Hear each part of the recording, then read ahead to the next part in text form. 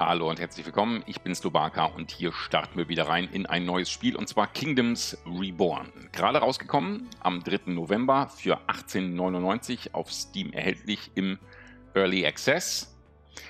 Entwickelt und gepublished ist das Ganze von Earthshine und soweit ich das verstanden habe, ist das ein einzelner Mensch, der das Ganze entwickelt hat. Da haben wir ja schon gute Erfahrungen gemacht, bei Ostrift zum Beispiel. Wir schauen mal, was uns dieses Spiel so bietet. Einen kurzen Blick in die Settings. Ich habe hier alles auf Ultra gestellt. Es gibt, äh, ah, Resolution Quality. Machen wir es mal auf 100. Mal schauen, was passiert. Ähm, das wollen wir so lassen. Hier ansonsten Audio und Input-Settings und so weiter. Nur, dass ihr das einmal gesehen habt. Wunderbar. Das Ganze ist auch spielbar im Multiplayer und das ist ein bisschen das Besondere. Jetzt muss man leider sagen, momentan ist es eher so, dass hier so 1, 2, 3, 4 Spieler sind, die alle alleine spielen. Insofern ähm, ist es noch nicht so richtig angenommen offensichtlich. Oder es gibt private Spiele, die ich jetzt hier nicht sehen kann. Könnte man ja mal überlegen, falls ihr das Spiel habt. Schreibt mal, dann können wir mal zusammen spielen. So, wir starten aber ein Solospiel Achso, das Ganze ist natürlich ein Städte-Colony-Aufbau-Simulationsspiel. Das habe ich gar nicht gesagt, davon bin ich ausgegangen. Man sieht es auch eigentlich vom Hintergrund her, was es sein soll. Die Karten werden zufallsgeneriert. Ich werde jetzt einfach mal eine Karte speziell für mich machen. Ähm, die ist auch schon fertig, weil ich es gerade schon einmal damit gestartet habe. Das scheint schon abgespeichert zu sein.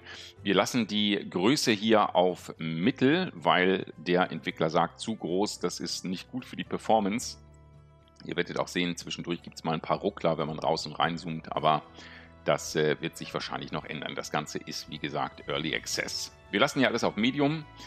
Die ähm, künstliche Intelligenz, ich sag mal, wir brauchen nur sechs um uns rum, vielleicht haben wir da ein bisschen mehr Platz. Auch hier sagt der Entwickler, das ist noch Early Access, die äh, künstliche Intelligenz ist noch ein bisschen doof. Normale Schwierigkeit und dann geht's los.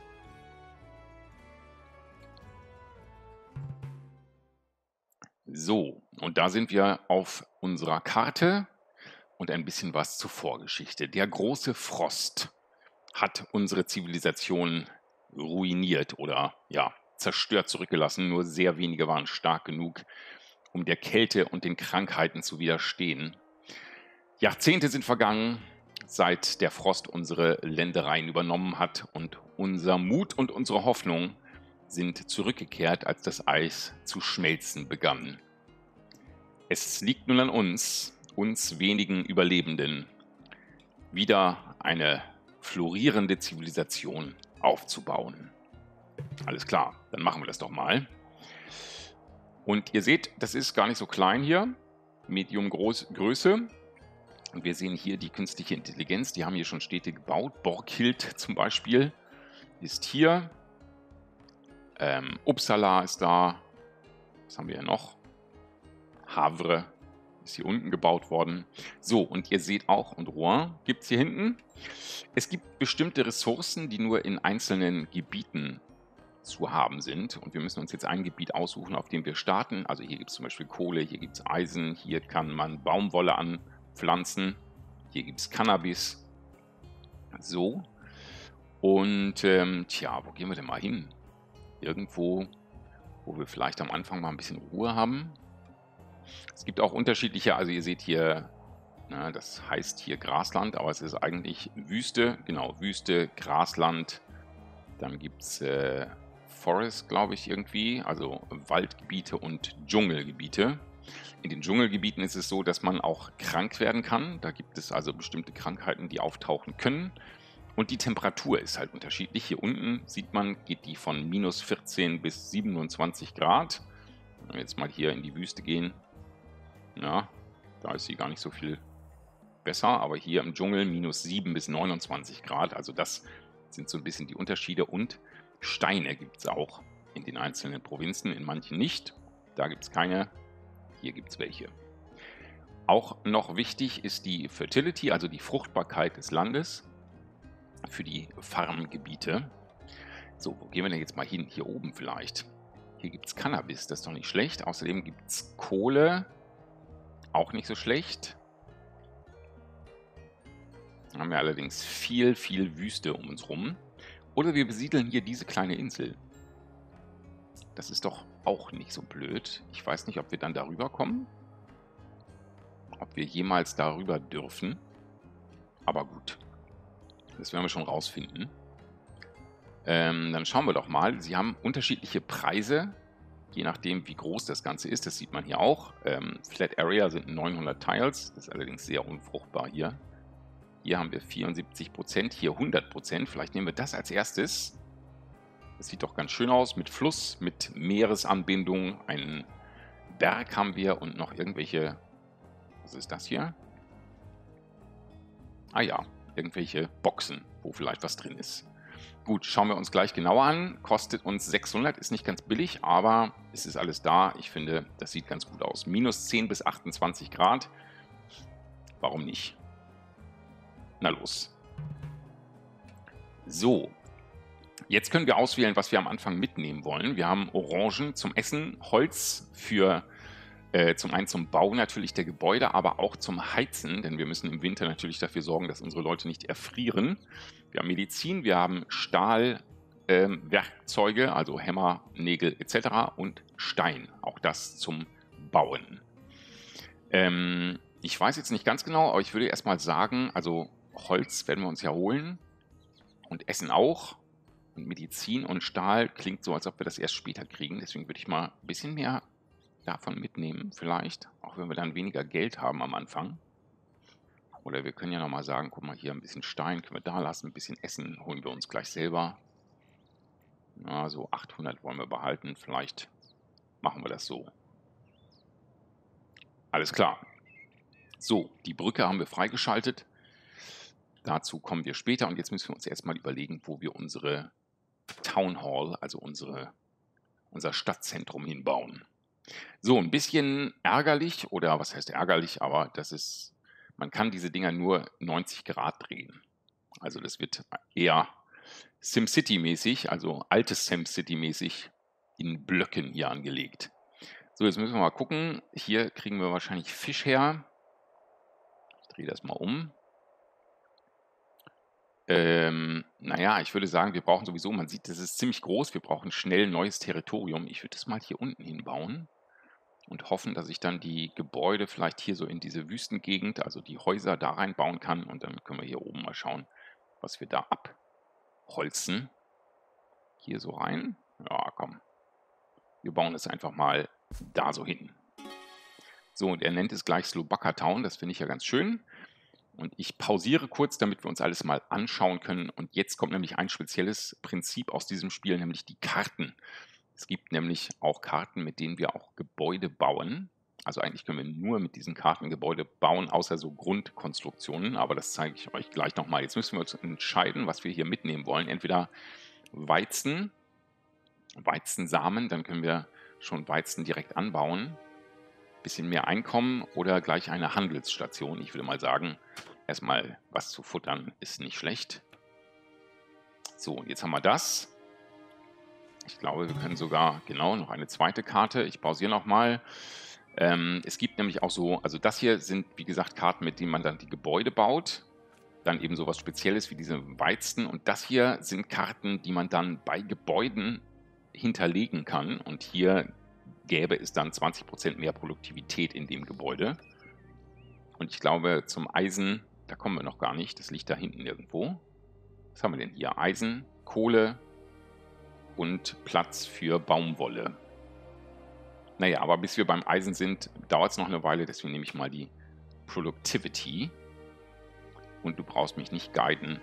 Das Tutorial brauchen wir nicht. So. Jetzt haben wir hier unsere Leute und unser schönes Lager, wo so einiges drin rumliegt.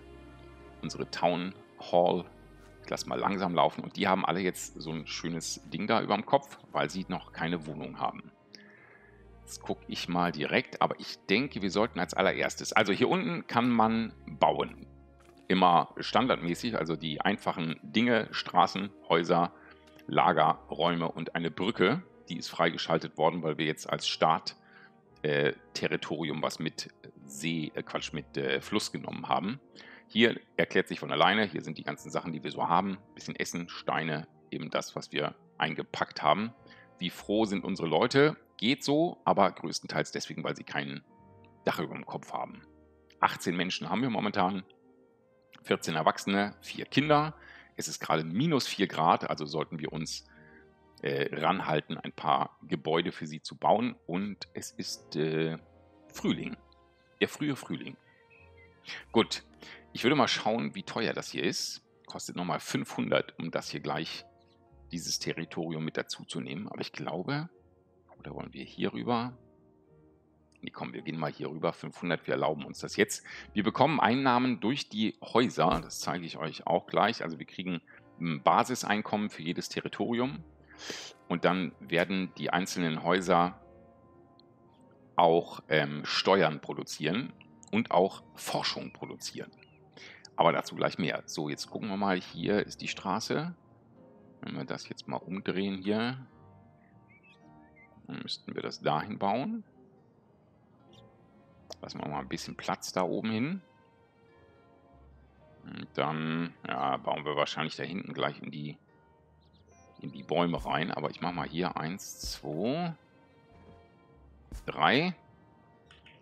Und auf die andere Seite auch nochmal 3. Wo haben wir das jetzt rein? Ist das hier drin? Ja. Ich lasse mal in der, dazwischen so ein bisschen Platz. 1, 2, 3, 4. Ich weiß nicht so genau. 6 vielleicht. Und dann bauen wir dann nochmal 3. Jetzt weiß ich ja nicht, wo die Höhe ist. Da 1, 2, 3. Jetzt hauen wir da gleich ein paar Orangenbäume weg. Denn das äh, kann man sammeln hier. Hier seht ihr, ist alles voller Orangen. Das ist was zu essen. Und es gibt auch hier in diesen Palmen, manchmal zumindest da sind welche, Kokosnüsse. Lecker. So, dann fangen die jetzt an, mit dem Holz den Kram zu bauen. Wir schauen mal kurz rein.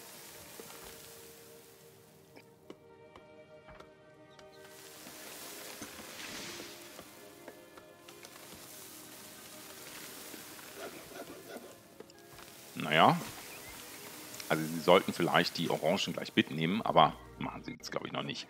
Gut, dann schauen wir mal, wo wir... Jetzt haben wir den Weizen schon mal aktiviert. Ähm, damit können wir den Weizen bzw. die Farm auch hier bauen im normalen Baumenü. Und es gibt hier immer Karten, die wechseln alle 150 Sekunden und dann können wir hier reinschauen und uns noch Karten dazu kaufen. Schauen wir mal, Schweinefarm, Immigration Office brauchen wir jetzt noch nicht, Kohlemine brauchen wir auch noch nicht. Entweder machen wir Pilzfarm oder... Also wir können so viele kaufen, wie wir wollen von diesen Dingern. Wie viel haben wir denn jetzt noch geldmäßig? 360.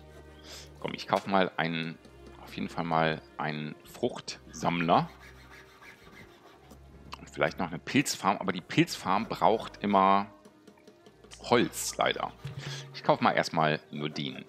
So, und da jetzt das erste Gebäude fertig ist, hier seht ihr eins, die ändern sich immer mit dem, Moment, ja, gucken wir gleich rauf, die ändern sich immer mit dem Untergrund. Also weil das jetzt hier auf äh, Wüste gebaut ist, sieht das so ein bisschen beduinenmäßig aus. Ihr werdet sehen, die anderen sehen jetzt, weil sie auf Gras gebaut sind, gleich ein bisschen anders aus.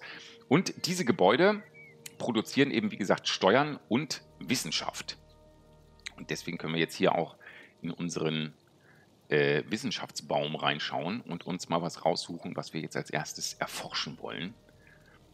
Und ich denke, wir fangen mal damit an, erstmal die Holzfällerei ein bisschen zu verbessern. Plus 20 Prozent mehr Holz holen sie dann aus den, aus den Baumstämmen raus. Das machen wir mal als, als, als allererstes. So, und wie ihr seht, natürlich, das habe ich jetzt gar nicht gesagt, das Spiel ist momentan nur auf Englisch erhältlich. Es ist noch nicht deutsch übersetzt, soll aber kommen im Laufe des Early Access, aber wie lange der braucht, das steht in den Sternen. So, hier seht ihr jetzt mal so ein anderes Haus. Da liegt auch dann gleich so Wissenschaft vor der Tür, glaube ich. Irgendwelche Bottiche hier. Na gut. So, dann kann man hier noch äh, ab angeben, was jetzt hier zum Beispiel gefällt werden soll. Jetzt können wir sagen, dass wir hier alle Bäume nochmal weghauen.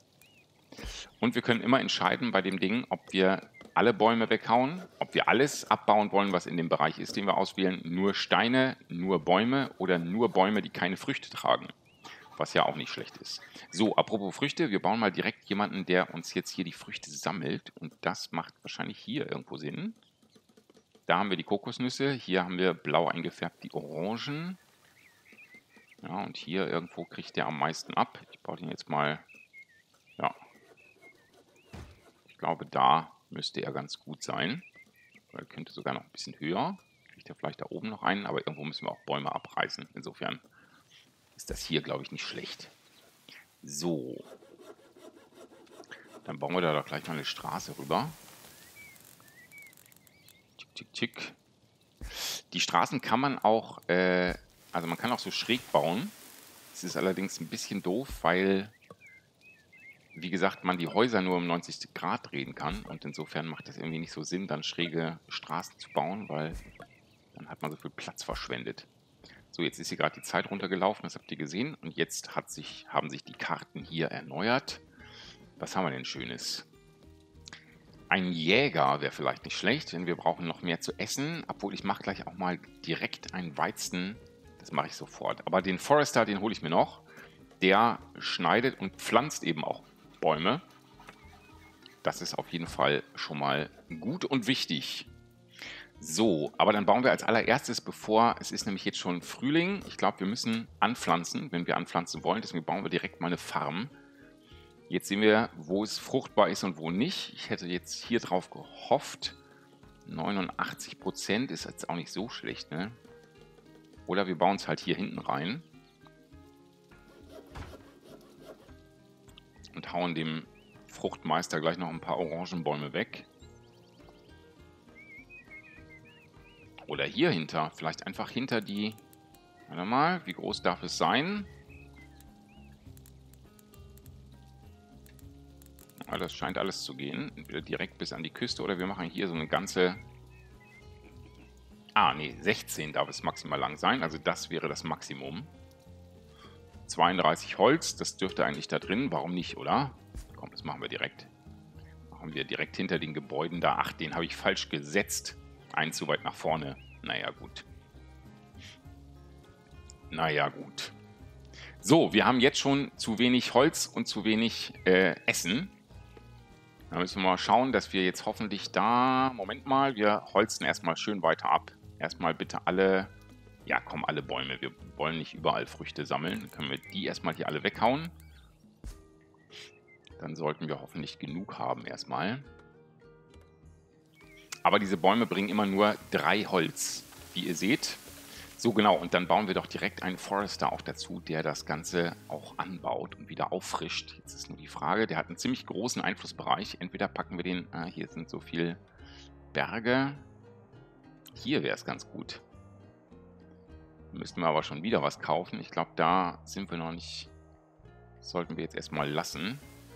Aber wenn wir den hier so hinbauen und ihn dann den ganzen Bereich hier voll pflanzen lassen, sollte das doch okay sein. Das ist noch unser Gebiet.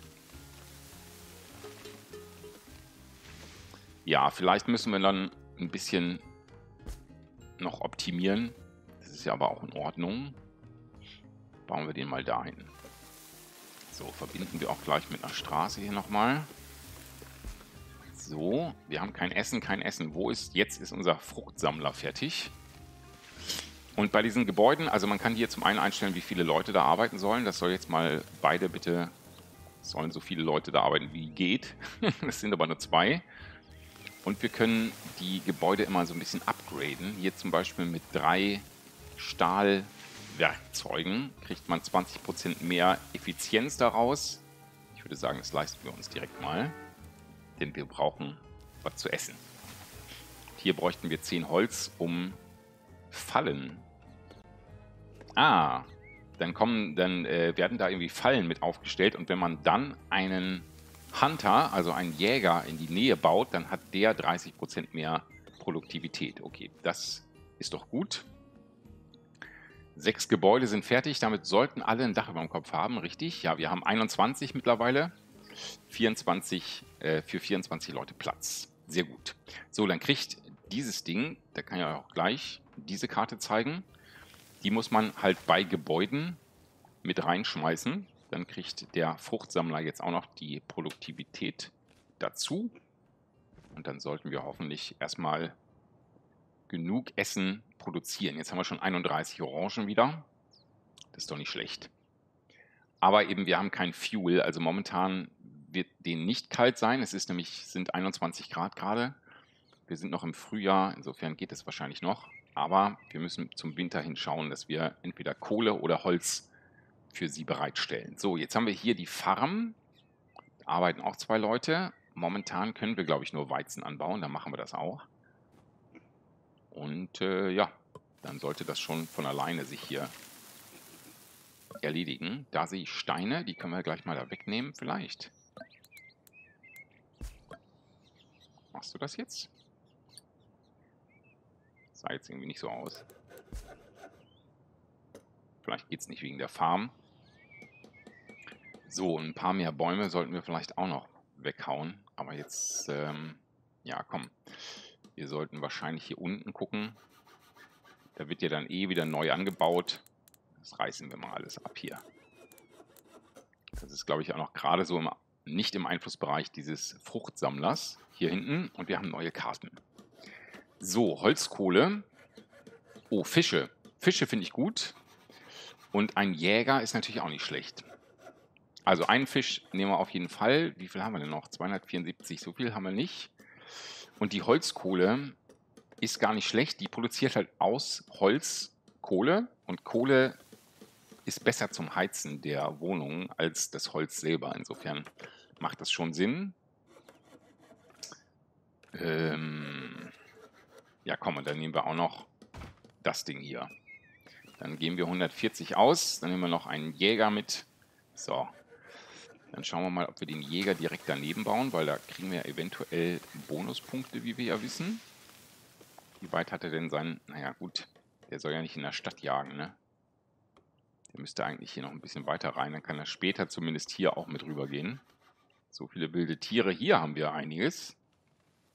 Hier laufen überall so Wildschweine und Rehe rum. Ja, das macht eigentlich da jetzt gar, gar keinen Sinn. Dann bauen wir lieber erstmal einen, einen Fischer. Der sollte hier mehr Sinn machen. Jetzt schauen wir mal hier. Effizienz steht mit dabei. 90 Prozent. 92. 70. Hier vielleicht. 124. Das ist doch mal eine Effizienz. Sehr gut. 140. 124 habe ich gerade gesagt. Quatsch, 142. Dann bauen wir den dahin. Damit haben wir ein neues Gebäude freigeschaltet, nämlich das Statistikbüro. Das können wir bauen, dann sehen wir mehr Statistiken unserer äh, Siedlung. Kostet uns das Holz? Ja, 30. Ich warte mal erstmal den da hinten ab. So, mittlerweile ist der Förster hier fertig. Dem können wir jetzt auch sagen, ob er nur schneiden, also ob er schneiden und pflanzen, Quatsch, schneiden, also abholzen und pflanzen soll oder nur pflanzen oder zumindest priorisieren das Pflanzen oder priorisieren das Abholzen. Er soll mal beides machen. Ich hoffe, das äh, wird sich dann über die Zeit ausbalancieren. Soll er größtenteils Fruchtbäume pflanzen, Nee, du kannst alles pflanzen, was du willst. Das hier ist zum Abholzen, nicht zum Fruchtsammeln. Und du sollst auch alles abholzen. Genau. So, jetzt können wir hier auch schon wieder durch Stein die Effizienz erhöhen. Wie viel Stein haben wir denn? 54. Momentan produzieren wir aber keinen Stein, aber wir könnten was sammeln. Moment mal. Hier liegen auch noch Steine rum. Und ich glaube, da liegen noch Steine rum. Und vielleicht macht er das ja hm? Ah, die hat er scheinbar doch schon abge abgeholt. Hier die Steine da hinten. Sind sie schon weg? Ja, da sehen wir keine mehr. Aber der Weizen wächst. Das ist doch schön. So. 22, 24. Wir sollten uns vielleicht nochmal um ein weiteres Haus bemühen. Ich denke, wir können auch hier weiter die Gebäude weghauen. Und dann schauen wir mal ob wir nicht vielleicht hier direkt die Steine mal ausgeben, um dieses, diesen Förster zu verbessern. 30% mehr Effizienz ist ganz ordentlich und ich weiß gerade nicht, für welche Gebäude wir Steine gebrauchen könnten. Deswegen machen wir das direkt mal. Und unsere Lagerstätten sind schon voll. Dann brauchen wir neue Lagerstätten. Deswegen habe ich unter anderem hier ein bisschen Platz gelassen. Vielleicht können sich die Leute da gut was wegholen. Bauen wir hier dazwischen mal so eine...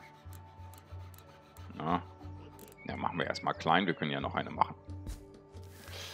Bauen wir da neue Lagerstätten oder brauchen wir auch 45 Holz für? Naja gut, wir holzen jetzt hier schön weg. Wir können das hier mal alles wegholzen. Und dann geht das hoffentlich ganz gut. Und hier werden gerade frische Bäume gepflanzt. Sehr gut. So, Statistikbüro, auch Holz. Ähm, Holzkohle, genau. Vielleicht schaffen wir das ja noch vor dem ersten Winter. Es ist jetzt Sommer. Hm, den könnten wir eigentlich dahin bauen, wo auch das Holz produziert wird. Ich weiß gar nicht, ob der sich das dann da auch ordentlich abholt, aber wir machen das mal. Holzkohle. So, neue Karten. Nochmal Fische, nochmal... Ja, eigentlich alles das gleiche. Eine Schweinefarm ist auch nicht schlecht. Oder wir schauen mal, ob wir Pilze produzieren können. Oder einfach Haufen Fische aber komm, ja, Fische haben wir schon. Wir kaufen mal uns die... Ja, wir haben auch nicht so viel Geld. Wir kaufen uns mal die Pilzfarm hier dazu. So, und jetzt wäre dann auch mal der Zeitpunkt, wo ich mal ein bisschen schneller laufen lasse. Ich lasse nur am Anfang immer gerne langsam, weil ich finde, dass man dann die, die Systeme etwas besser schnallt.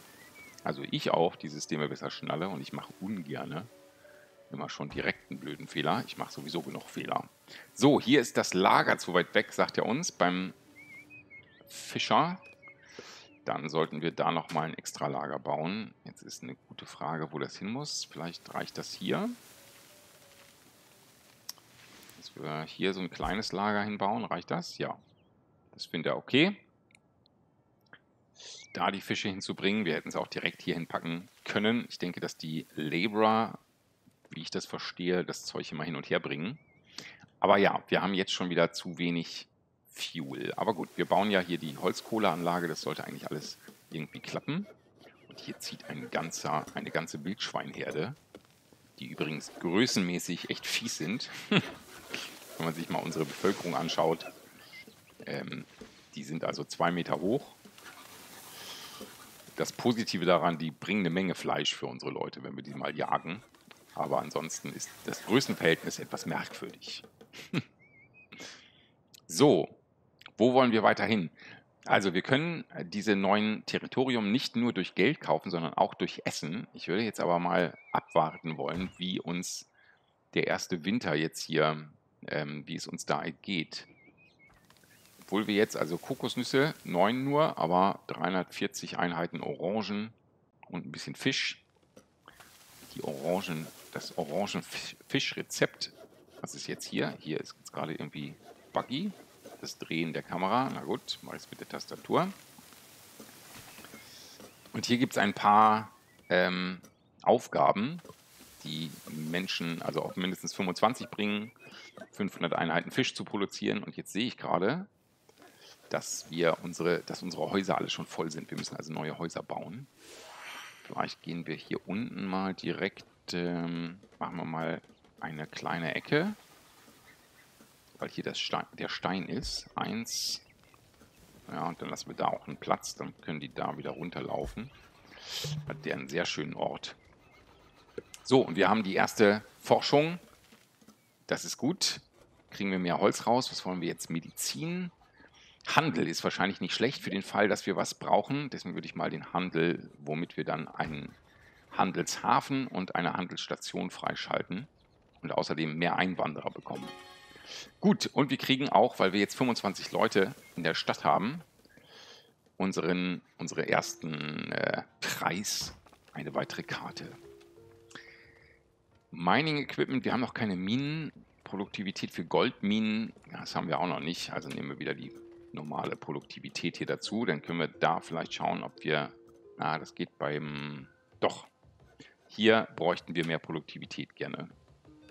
Je mehr Holz wir bekommen, desto besser. Und wir schauen nochmal in die neuen Karten. Da haben wir Kohlemine, nochmal Frucht, nochmal Holzkohle, noch ein Jäger oder Steine aus dem Berg hauen.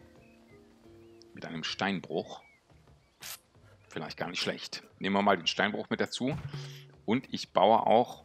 Ah ja, das ist doch schön, dass wir das noch sehen. Es gibt auch noch zusätzliche Boni. Nicht nur, dass man forschen kann, sondern wenn man mehrere Häuser baut, also hier jetzt zum Beispiel, wenn wir jetzt acht Häuser bauen, wir sehen, wir haben sieben von acht, dann bekommen wir hier noch was dazu, nämlich die Holzindustrie und können dann Möbel bauen. Und das geht dann immer so weiter. Bei neun Häusern gibt es hier äh, Pottery, also da können wir aus, ähm, was ist es, Lehm und, ah, jetzt haben wir es schon.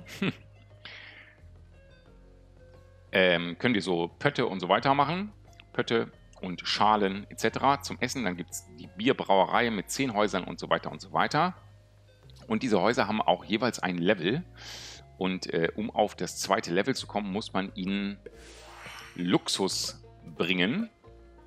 So, jetzt haben wir den freigeschaltet. Wir kaufen den auch einmal. Wenn wir den jetzt nicht kaufen, müssen wir darauf warten, ob der hier auftaucht oder nicht. Jetzt ist auch noch eine Karawane angekommen. Einen Moment, wo wir jetzt ähm, Zeug verkaufen könnten, um ein bisschen Geld zu bekommen, was vielleicht gar nicht so schlecht ist. Und diese Preise, das muss man auch wissen, vor allen Dingen im Multiplayer wird das wahrscheinlich dann irgendwann spannend werden. Ähm, denn diese Preise ändern sich je nach äh, Marktlage sozusagen. Also wenn jetzt alle Städte auf der Karte alles voller Orangen haben, dann wird der Preis für Orangen ordentlich fallen und so weiter und so fort. Also da könnte man sich theoretisch spezialisieren. So, Kohle sollten wir nicht verkaufen. Was wollen wir denn mal verkaufen? Vielleicht können wir so ein ganz bisschen Medizin verkaufen. Das ist nämlich sehr teuer. Auch wenn wir das jetzt nicht sofort produzieren, aber wir haben ja mehr mitgenommen. 118, das machen wir mal. So. Na gut. Also ich denke, dass wir jetzt weitermachen, erstmal hier nochmal Stein abzubauen und dann müssen wir mal gucken, ob wir, ob wir durch den ersten Winter kommen mit unserem Holz. Ansonsten, ah ja, ein Handelsposten. Das ist, glaube ich, jetzt das Wichtigste. Vielleicht schaffen wir es dann sogar noch die, äh, eine Notfallration für den Winter zu holen, falls wir sie denn brauchen. 25 Menschen leben hier in Slobaka Town, am südlichsten Zipfel. Und äh, dann machen wir weiter beim nächsten Mal. Wenn euch das Ganze gefällt, wenn ihr mehr von diesem Spiel sehen wollt, dann gebt mir gerne Bescheid. Schreibt einen Kommentar, drückt ein Like und äh, ihr könnt euch auch mal auf dem Kanal umschauen und wenn euch das auch gefällt, dann abonniert auch gerne. Und es ist auch nicht ganz unwichtig, mir zu sagen, was ihr von diesem Spiel haltet. Denn, also ich würde sagen, zehn Folgen gibt es definitiv und dann schauen wir mal, wie das Ganze bei euch so ankommt. Mir macht es erstmal Spaß und wir werden mal sehen, wie es weitergeht. Bis zum nächsten Mal. Macht's gut.